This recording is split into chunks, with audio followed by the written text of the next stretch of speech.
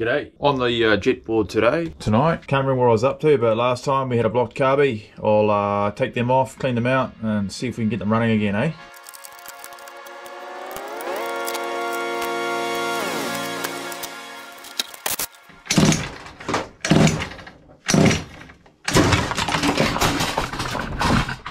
Ah! Whoops.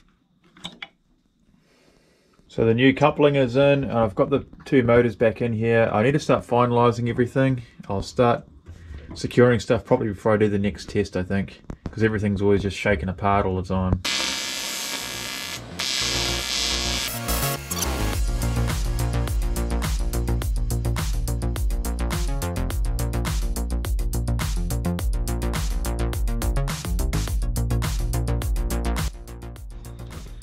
Got the front tacked on. I did start making it out of this, but this is only like I think it's 0.9 alloy. It's way too thin to weld, so I put some point, uh, put some two mil alloy at the front. That was way better. I actually printed this pulley, 3D printed this pulley for another project, but I can use it for this one for the pull start. So I have to route the pull start around this pulley through here, and then it will come up to here, go around this pulley, and then back out here. So I should be able to pull start it from here.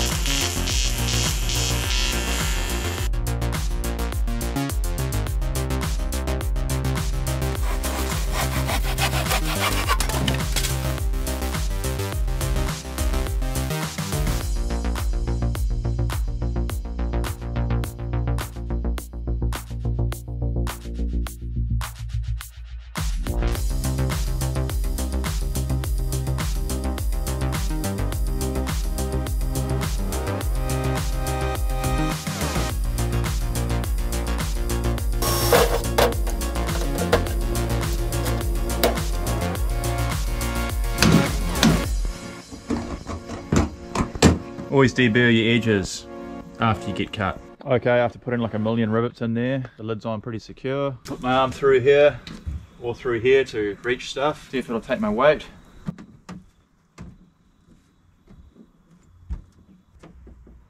So this is going to be the air intake.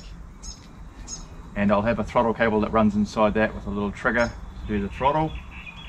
So it's always sucking air from up by my hand and it shouldn't get full of water.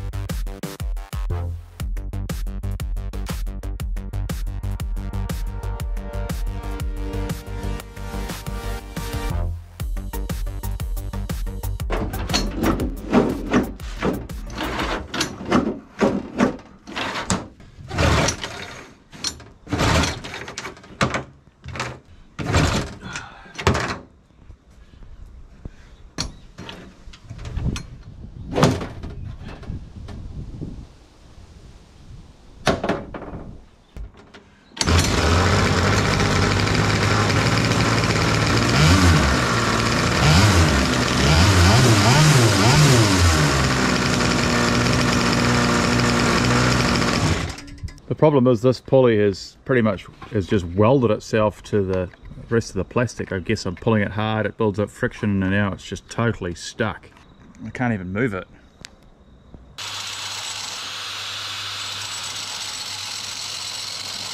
Cut the old pulley out. I got the old pulley out, I had to cut it in half to get it out. I started trying to make an aluminium one in the drill press, but it's not really working, so I'll use the lathe tomorrow to make this properly.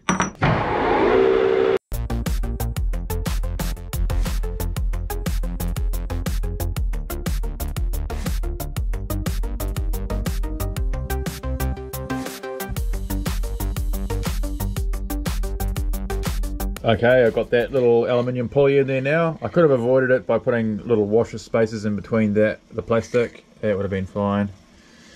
And I also just put a bolt in here and drilled a hole through it for the wire to feed, the rope to feed through because it was tearing through the PLA.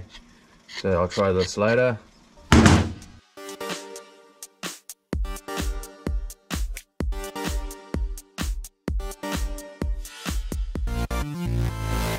So I ended up fully welding this piece off, this back bit, and it's got a little brace there that pushes on the jet unit, so that should take my weight. That's two mil thick as well. I'm guessing when I'm turning on my foot will be right back here to push on it. And I'm just going to silicon around these parts so I can still get the jet unit out.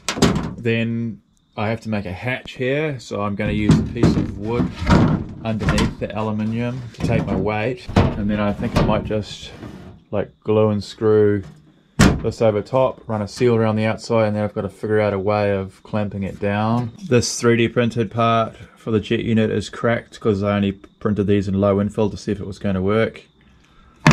So I printed another one, had 100% infill, and then it, I realized that it also cracked this just from undoing it, doing it up too many times. So I printed another one of those uh, it's about 40% infill, but I did really high wall thickness, so the, the sides will be really strong. And also, I can print it this way up instead of the other way up I did for this one. But it's printed a weird false wall in here. There must be a mistake on the drawing. But it's alright, I can just cut that out. I've glued and screwed that bit of plywood to this aluminium here, but I need to make it curved, so I've put the whole bench on top of it to curve it.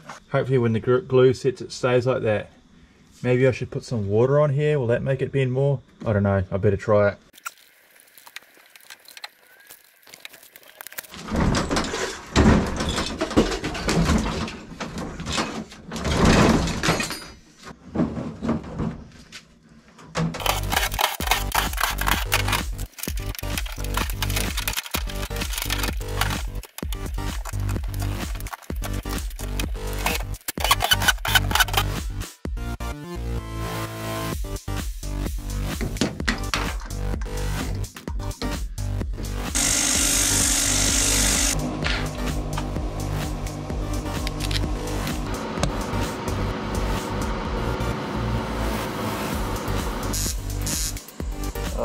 Uh, why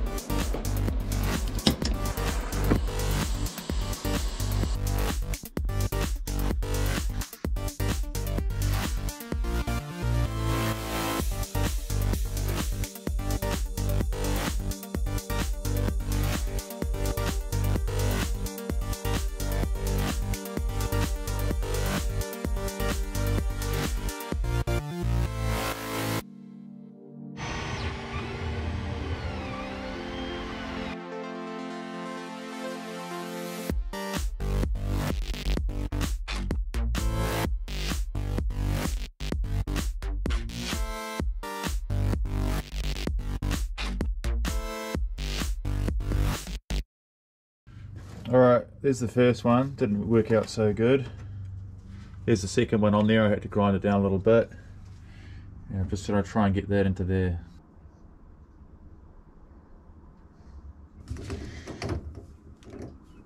Alright, that's actually worked out pretty good. It's so tight on there that I don't really need a screw, or nothing to secure it.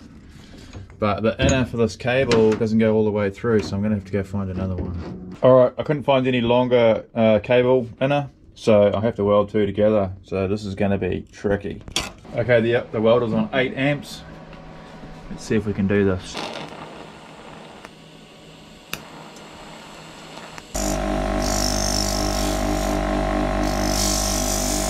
I couldn't actually, is this focusing?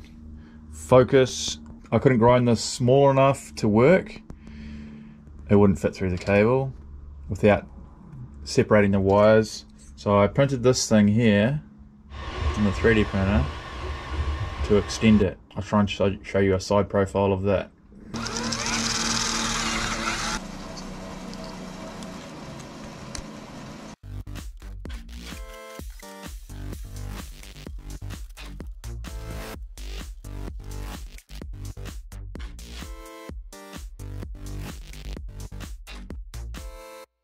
All right, I've got that throttle hooked up.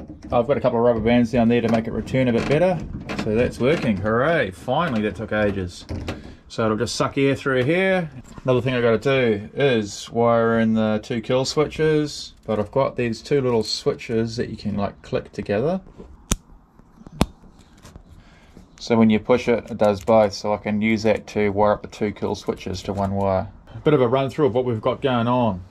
The new 3D printed parts are on here. Got the coolant line comes the water through the jet into here, through that, through this cylinder, through this pipe, through this cylinder, out here. This is going to be inside the board, and I need to 3D print a little thing here, like a towel, so it squirts water out the front so I can see it's pumping water. And we've got the pull start here that comes back here. We've got the throttle hooked up that I just showed you. I've got a fuel filter in this time. The off switch, I still need to print a, a button for the off. I might just have a button, I don't know, probably up the front with a rubber over it so I can push it and it's all sealed and stuff. But let's give it a run, see if she works.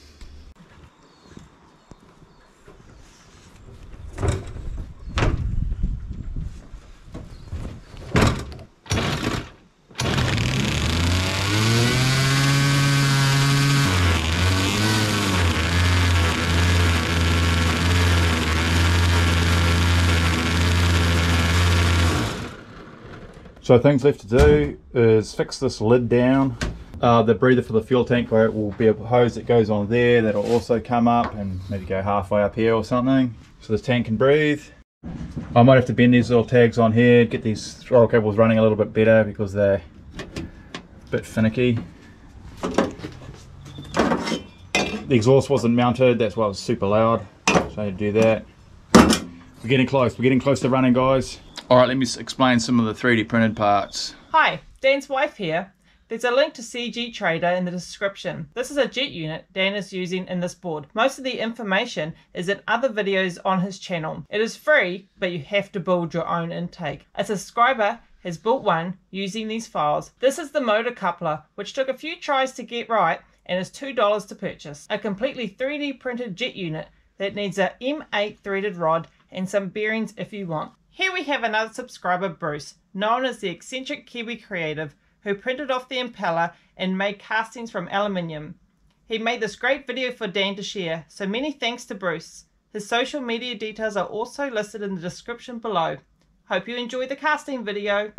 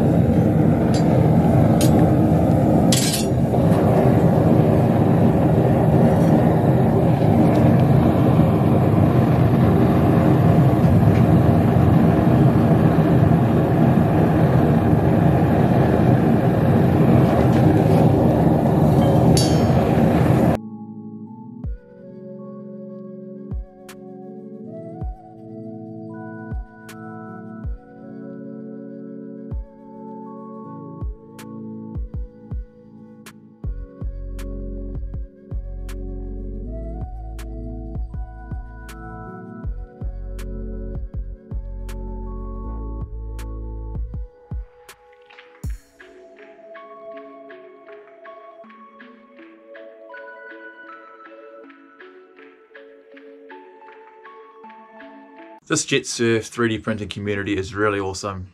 Really helpful comments. Thanks, guys. And thanks for your pictures in that. Uh, thanks my wife for helping out. It's getting real busy. Sorry if I can't answer everybody's questions. Thanks for watching. See you next time.